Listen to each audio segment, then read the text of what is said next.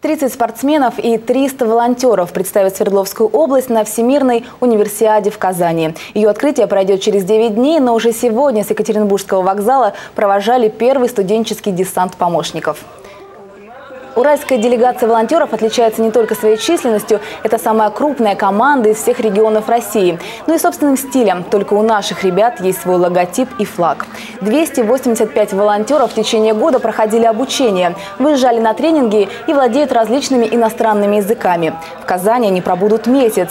На время проведения универсиады наши волонтеры будут бесплатно работать по 40 направлениям, среди которых логистика, помощь зрителям, командам и журналистам, а также многое другое.